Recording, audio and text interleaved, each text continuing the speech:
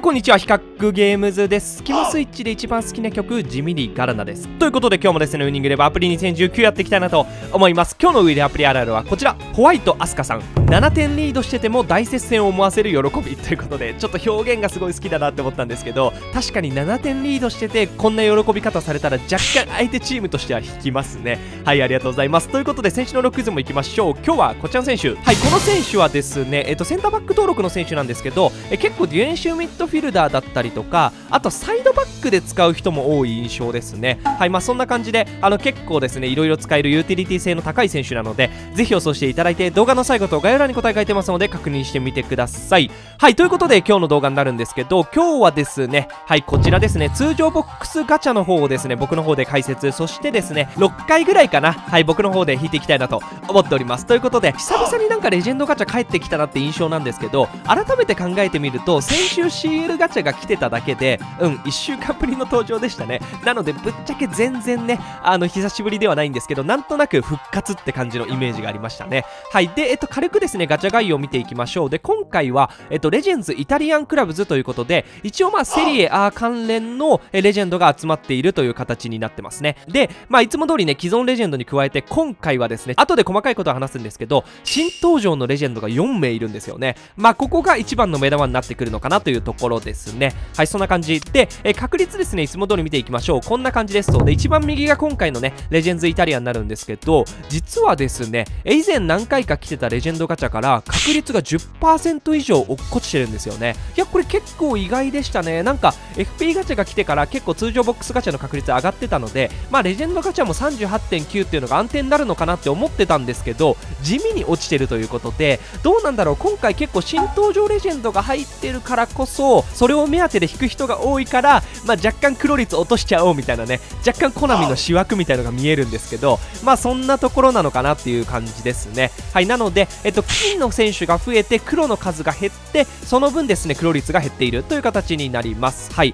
で、えっと、排出選手軽く見ていきましょう。で排出選手はまあ今回もね豪華レジェンドですね。で、え黒レジェンドでいうと今回9名搭載されていて黒の数はですね45と減ってるので45分の9つまりですね20%ぐらいの確率でレジェンドは出るようになってます。なのでレジェンド率に関しては上がってるんですよね。はい。っていうことはまあ課金できて結構ガチャ引ける人にとってはここは結構いい修正なのかなとは思いましたね。はいそんな感じ。で、えー最後にですねちょっと新登場レジェンド軽く見ていきたいなと思うんですけど、えー今回ですね4選手ですね。はいバレージジーダマッサーロアッビアーティということではいミラニスタにとってはたまらないメンツなのかなというところで今週ですね FP ガチャでもミラン来てるじゃないですか。というところでまあミラニスタの方今週かなりねお金と GP とコイン飛んでくんじゃないかなとかって思ってたりするんですけどまあそんな感じですと。でえっと G だとバレージが黒でマッサーロとアッピアーティが金ですね。なので黒に金にという形で搭載されてます。でこの中でですねこのバレージという選手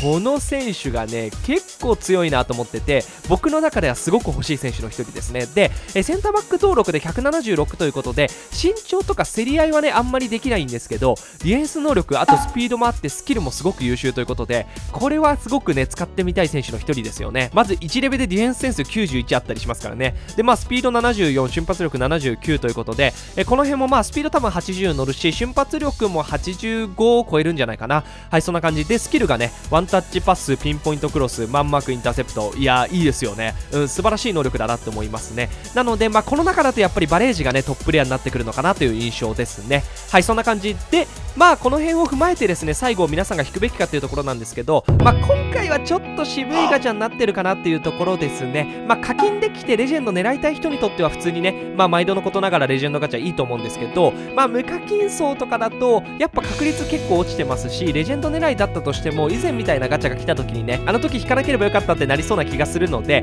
まあ無課金の方だったらもうちょっと確率高いレジェンドガチャか前回の CL ガチャみたいな通常選手メインでもうちょっと確率高いガチャ引くのがいいのかなとは思いますのでまあそんな感じで今回はちょっと渋めなのでまあそんなに引くべきガチャではないのかなとは思いますね。はいそんな感じになります。いやということでまあ引くべきガチャじゃない場合は僕が引くべきという形になるので僕がやっていきたいなと思います。ということでまず1回目いきましょう。なんかサクッといっちゃったけどちょっと心の準備まずできてないですね。いきなり黒玉出たらなんか反応できないかもしれない。ということでいきましょう。GO 来るか?来るか?黒?黒?あー金スタート。まあまあまあまあまあ。こんな感じですよ僕のスタートは。さあということで、えーと、ファウジグラム選手、えー、マノロ・ガッビアディーニ選手そしてブレイム・ジュマイリ選手ということで。なるほど。まあまあなスタートですね。というかあれか。今回で言うとさっき言ったようにマッサーロとアッビアーディが金で搭載なので一応金が出てもレジェンドが出る可能性があるっていうのはちょっとなんか希望が持てていいですね。はいということで2回目いきましょう。頼む。希望は持てたとしてもね引けなければ意味ないですからね。さあ行きましょう。レッツゴー来い。来い。来い。来い。なあマジか。待ってこれで銀打ち抜くか。ゴールキーパー、えー、ルイジ・セーペ選手、えー、ジャンルカ・マンチーニ選手。はい、えー、ジャンルカ・マンチーニ選手ですね。はいそしてルカ・ロッセッティーニ選手ということでイタリアの選手ってさなんかなんとか T2 とかさあの結構ちっちゃい「つ」が多かったりするんで結構言いにくいですね。そしてイタリア3連続さすがセリエ A ガチャですね。はいありがとうございます。さあということで3回目いきましょう。うーん銀3枚はちょっと厳しいな。せめて金出てほしいですね。さあ行きましょう。ゴー。来るか？来るか？確定は来ないからの。ゴールデンボール4連続の2個目。来い！さあセンターバック。おおヨナタンター選手ですね。いいですね。そして、えー、アンドレア・コンシーリ選手、えー、ダニーロ・ラランジェイダ選手ということですごいなんか罰ゲームで坊主にされた感がすごい出てるような不満そうな顔してますね。はいありがとうございます。なるほどね。ヨナタンター選手はかなりいいですけどね。ヨナタンター選手ってなっちゃったななんかすごい変な感じ。さあヨナタンヨナタンター？ん？どれ、どれが正解なんだろう？ヨナタン・ターか。流れの中で言ってると難しいけど、ヨナタン・ターですね。はい、ヨナタン・ター選手は、まあ、結構ね、あの、スピードと瞬発、まあ、瞬発が結構低めですけど、まあ、よくあるセンターバックってタイプで、まあ、金の中だとだいぶ強いのかなって印象ですけどね。まあ、インターセプト持ってないですけど、はい、ありがとうございます。結構いい選手ですね。レバークーゼンでね、配当させられてますと。はい、ということで次行きましょう。次が4回目かな？これが4回目ですね。さあ、行きましょう。GO! 来るか？来るか？待って、黒なしはないよ。6回引いて黒なしはちょっと確率に裏切られてるかさあ来い。おお、マチュイディさん素晴らしいですね。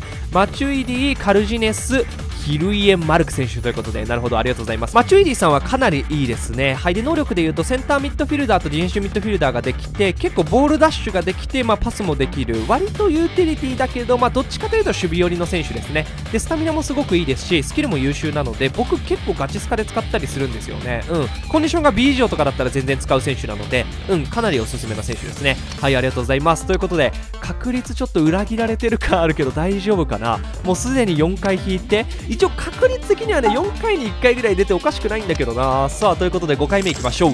頼むよ。いきます。ゴー。来るか。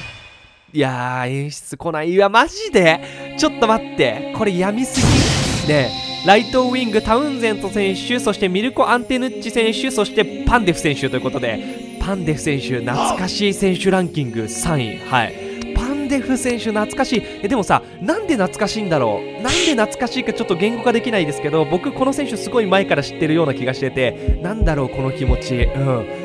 なんか何とも言えない気持ちになっちゃいましたね。はいありがとうございます。そして、えー、とパンデフ選手はなるほどね。はいはいはいはいはい。まあ、銀の中だったらって感じかな。まあでも、あえて使うかっていうと難しいですね。はい、ありがとうございます。か、パンデフ選手のこの、あれ何でしたっけ？マケドニアだったかな？いつもこれ分かんなくなっちゃうんですよね。はい、ありがとうございます。ということで、いや、渋いね。このガチャ結構予想以上の確率だったら、まあでも、さっきも見たように結構銀の数は多いので、まあそういったところで結構銀のね、数が多いことが影響きちゃってるかもしれないですね。さあ、ということで、ラストいきましょう。6回目。いきます。頼む。